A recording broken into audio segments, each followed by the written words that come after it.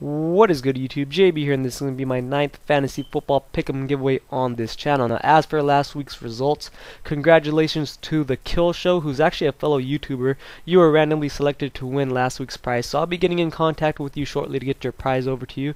Now for this week we are switching it up a little bit. We're giving, giving away fantasy football Robert Mathis. So all you have to do to enter this giveaway is you got to be a subscriber and comment down below who's going to get the most fantasy football points in the correct order this week out of Tony Romo, Andrew Luck, and Philip Rivers. And if you get the correct order, you will have a chance to win this card. Now, um, I really liked the QBs last week. It was it was fairly easy. Even I, even I got the correct order right. So a lot more people got it right. So that's why I decided to do QBs again this week. That's why I picked Romo, Rivers, and Luck. Two of them are going to be playing on Monday night, but you still have to get your entry in by Sunday when the games kick off.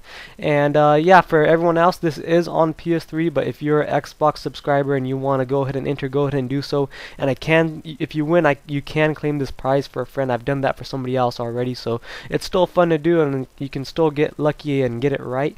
And for everyone else to, that's new to my channel, go ahead and take a look around.